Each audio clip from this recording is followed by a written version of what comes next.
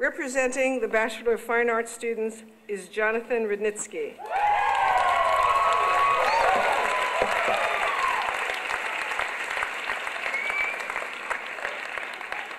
Jonathan is originally from Harrington Park, New Jersey. He is graduating from the University of Southern California with a Bachelor of Fine Arts in Acting. He has been involved in five School of Theater productions during his time here. He was fortunate, he was fortunate enough to receive the John Ritter Memorial Scholarship Award for outstanding comic performance for his role in A Flea in Her Ear during his freshman year. Jonathan also enjoys performing stand-up comedy regularly around the Los Angeles area.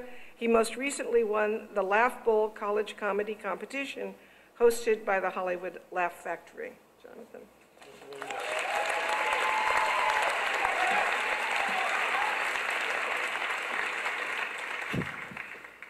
Hello, and thank you for having me as your BFA commencement speaker. It is my honor and your mistake. It's okay, we all make them. Just ask my parents.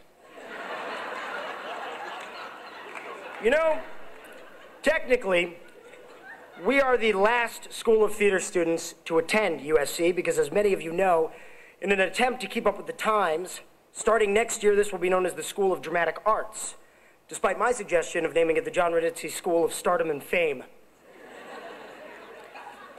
I had a whole vision of how we could revamp and update the program. Instead of offering standard and dated theater courses, we would provide practical lectures like posing for paparazzi, Scientology 101, faking your sexuality, which would include a one-day master class by John Travolta. And of course, a how to make a celebrity sex tape class taught by our very own Joseph Hacker.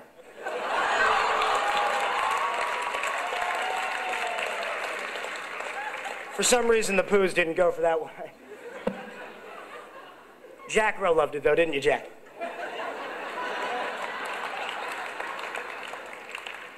So, I guess with that being said, congratulations to the final USC School of Theater class of 2012.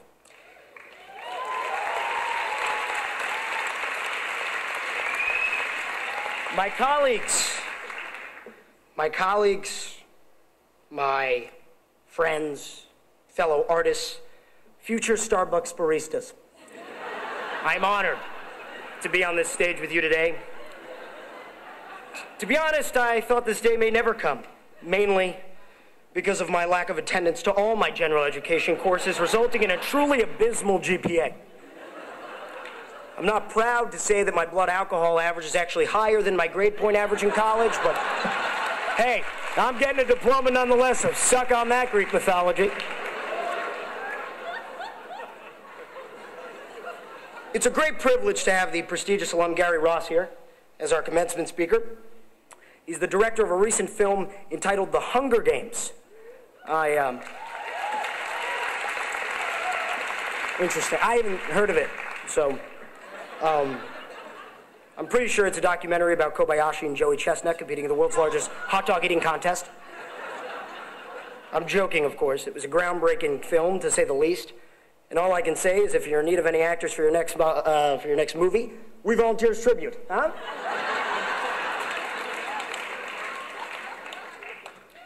Greetings to the faculty who have all guided us on our artistic journeys these past four years.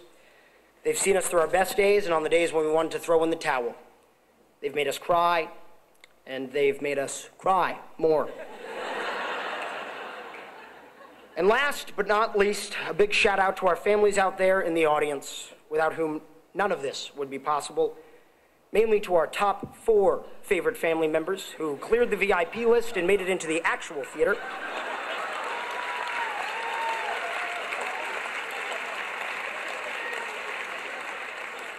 You are here for a special reason not only do we uh, collectively love you more, but you really flipped the bill on this one. Let's face it, it wasn't cheap, huh? As for our inferior and less loved family members who really contributed nothing to our education, I hope you're enjoying your seats out there in the patio. Take advantage of the weather, do some tailgating, you cheap bastards. You know, one check would have been nice. It's only 200 grand, after all, right?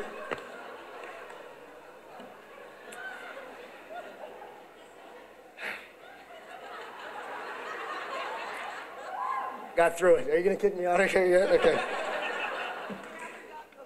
Okay. You know that feeling right before you're about to go on stage and you think, what if I forget all my lines?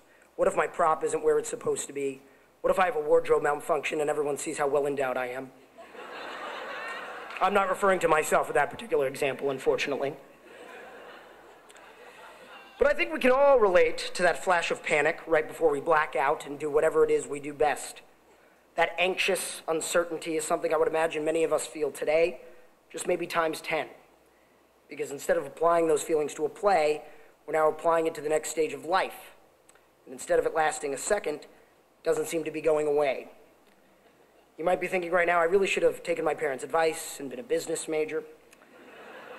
I mean, it might have not been as rewarding, but what am I going to do now?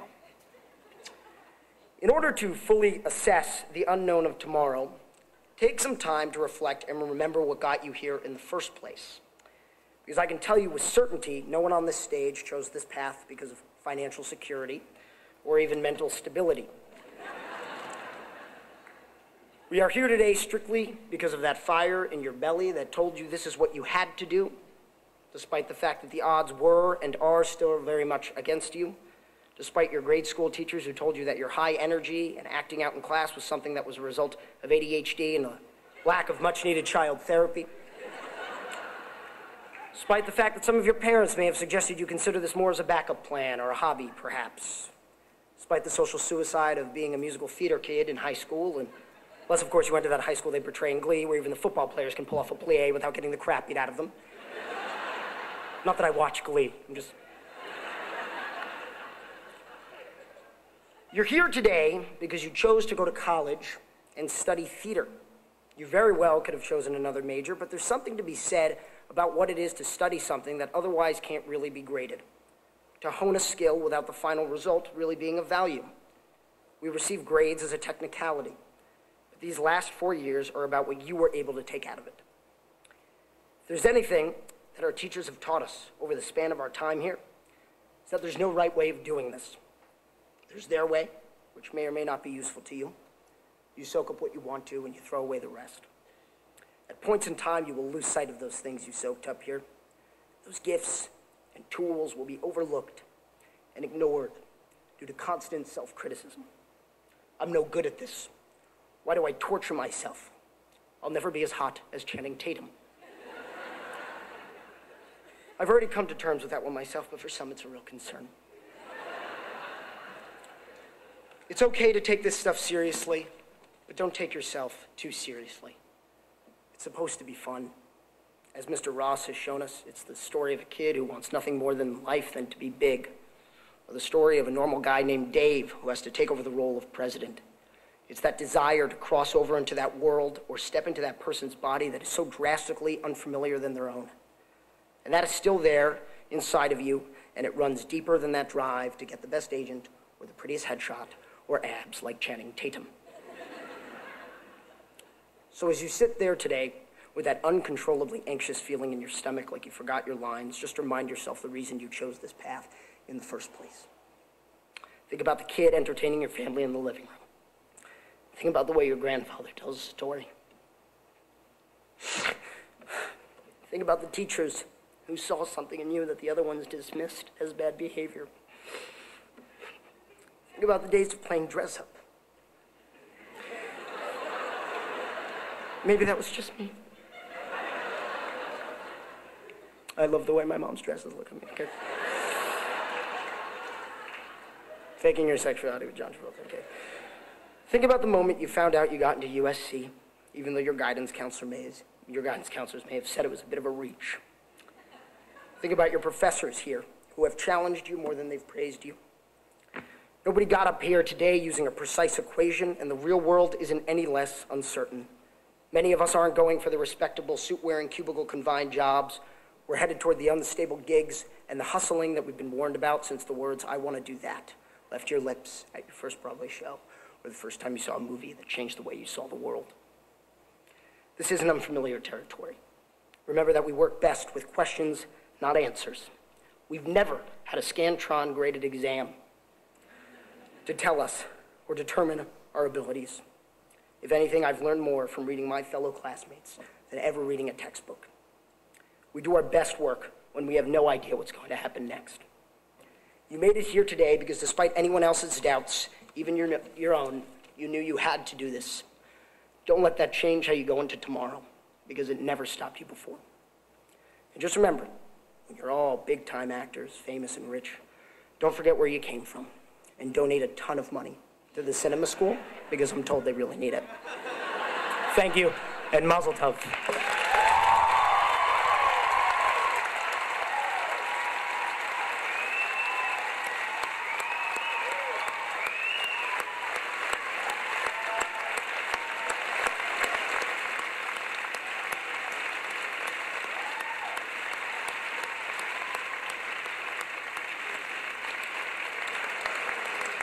Thank you, Jonathan.